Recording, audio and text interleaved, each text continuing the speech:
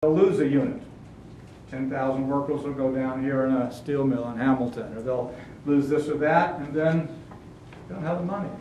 And that's part of the problem, the crisis I think we're facing among uh, institutional labor is that Gulf, I'm not sure how many unions have the resources, even if they want to try a different model, to actually have the political will or the financial capital to try to do something even when they, they know, just like you know, just like I know, what they're doing doesn't work.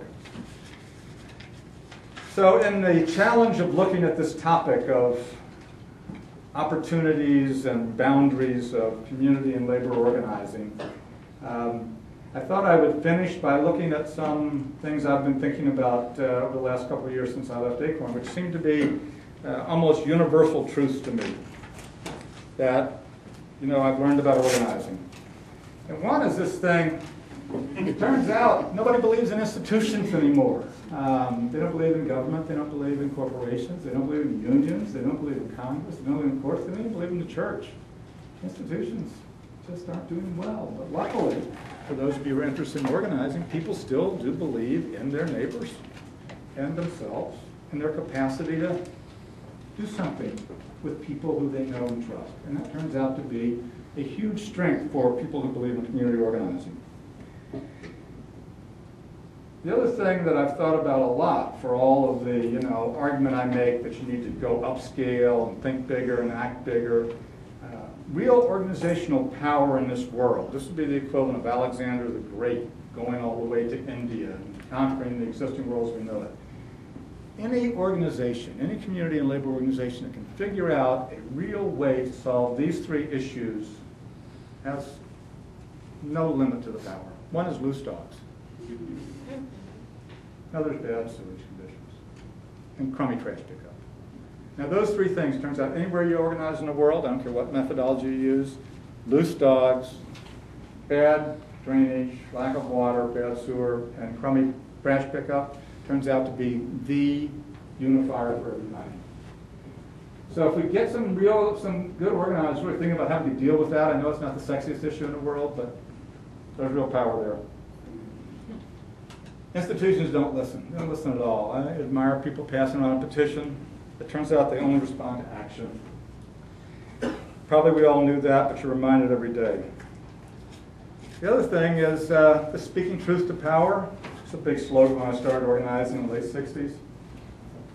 Doesn't work so well. Uh, it doesn't seem to work so well. And you can look at the difference. How many organizations, including great community organizations, great networks of community organizations, many of whom I've worked with closely, raise the issue of banks and the travesty of foreclosures, and all of a sudden it's taking over city parks. It's like Occupy Wall Street puts that in another dimension. So it turns out that uh, you really do have to do something more than speak truth to power. The other thing, now going on the better news side, is that uh, it wasn't true in settling the West that rain follows the plow.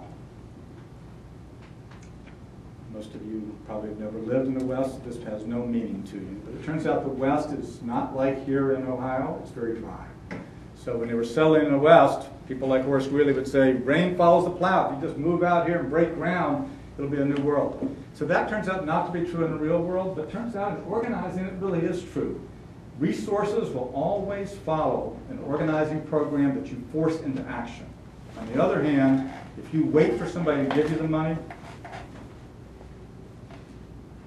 you're still Social Security. That's your best hope. But you're not going to be successful organizing. If you won't take the risk, no one else will. One of the best examples I think I have, uh, one of the proudest moments of my, my time with Acorn was our national office was in New Orleans. And so 2005, we have, you know, 50 people in that building. Everything we do is centralized in New Orleans.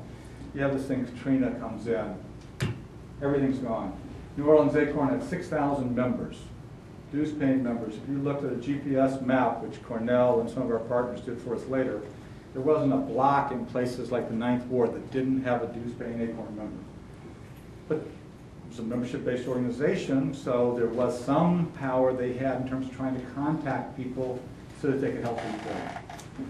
So in fighting to rebuild, they gutted with uh, thousands of volunteers and millions of dollars, 5,000 houses, more than anybody else did at that time. And I won't go into the gutting program. but It turns out the most expensive program you can ever run is a volunteer program. And I'm not, that's all I'm going to say. Um, you know what I'm talking about. But um, I, you know, what did I know about volunteer programs? I was a community organizer with, you know, all these blah, blah, blah. But, and they uh, didn't single-handedly, but what this book tells the story of is how they went from a period where some of their largest areas had giant X's that were meant to never allow people to be able to go back to their homes. The lower Ninth Ward was six months later with National Guard, keeping people from even going in to see lost possessions. And the plan from the city and the business community was categorically funded and articulated by the Urban Land Institute not to allow people to go into these areas, big X's in the Times-Picayune. And the single, uh, the, this book ends at the point where the single largest sum of money is dedicated in the rebuilding, to rebuilding uh, New Orleans East and the Ninth Ward. If you're going to take a risk, if you're going to do this work, if you're going to try to make change, the chances of failing are almost 100%. So if you're going to do this work, and it's hard, and it turns out sweaty work, um, call big. Try big. Don't try small. I mean, you're going to try it, and this is, uh, you know, you have to be, and this is one of the secrets that if you said, well, Wade, you've had some success in this business. Well, it turns out I'm uneducable. Um, this is what I've known how to do since I was 20 years old. This is the only work I know, so I better learn how to do it. And secondly, I'm not afraid to fail. And so what are they going to do if I fail? I mean, but we have a responsibility to win. So it turns out if we're persistent, take big risks, we win more often than we lose.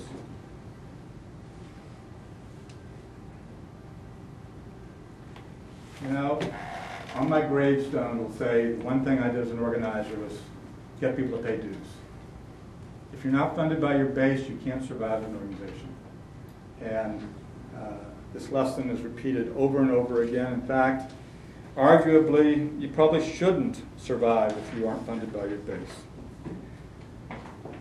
Part of how Acorn ended up going out of business in, in the end of 2010 was that when it was under crisis, and this is obviously a very tragic thing you, I've watched from afar, it didn't hunker down and go to its base. It somehow believed it could appeal to what it thought were its friends. Unions, churches, institutions, foundations.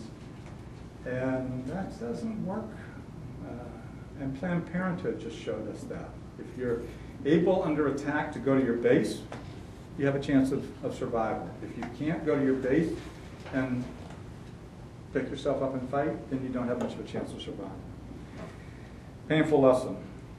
Members have to pay for services. Uh, one of the, you know, big insight I had after a year of being an organizer for welfare rights and running their Massachusetts operation, which was the largest they had, we had 4,000 members. Membership dues and welfare rights, $1 a year. When I won a campaign in Springfield, I was literally would force the welfare department to hand out checks for household supplies and vouchers for furniture. I'd be giving checks out to welfare recipient families, AFDC mothers with children, that were worth thousands of dollars. Because we won these special needs benefits that meant you had you got four chairs for every table, you got you know two sheets for every bed. And I don't know if they spent any of that money that way, but that wasn't really my issue. But I could have collected God knows what in dues from those families. But instead, dollar was the due system. So the insight I took to Arkansas, which didn't have any money, was maybe we should do differently. And somehow we lost that in Acorn. The year I left, we were doing 50,000 tax returns, helping people get EITC, running VITA sites, and this, that, and the other. We were doing even more than that in terms of housing counseling, helping people get houses. So direct benefits, adding up to huge cash money, probably 125,000 families a year for free. And if, if I had had the, the good judgment, which I didn't have, to not have those things funded by donors, but instead have them funded by the members, Acorn would have been able to weather that problem, combining its dues from its members and the support from that base to be able to get by.